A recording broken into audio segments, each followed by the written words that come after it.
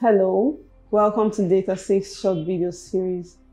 Today I'll be talking about identity and access management. Among the most important needs of organizations is the need to protect sensitive information.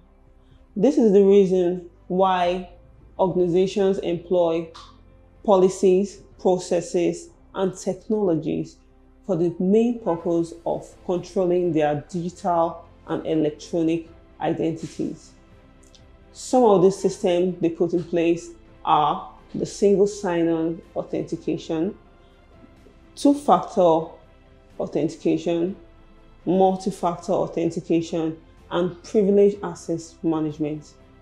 Here at DataSixth, we offer you services around identity and access management on demand, and much more in the cybersecurity space.